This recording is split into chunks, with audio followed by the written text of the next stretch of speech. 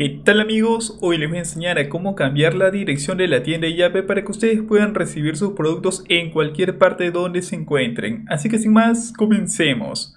Bueno amigos, ya nos encontramos dentro de la app Yape.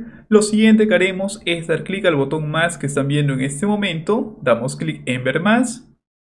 Y vamos a tener estas opciones. En la parte inferior tendremos la sección de tienda. Damos un clic. Debajo del buscador veremos la dirección. De igual manera, hacia el lado derecho tendremos el lápiz para poder editarlo. Daremos clic en el lápiz.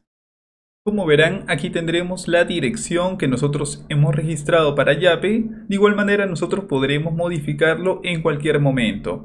Por ejemplo, si queremos cambiar la dirección de entrega, simplemente presionamos y vamos a cambiarlo. Vamos a hacer el ejemplo con la primera sección. Una vez que hemos modificado una letra, vamos a dar clic en guardar dirección.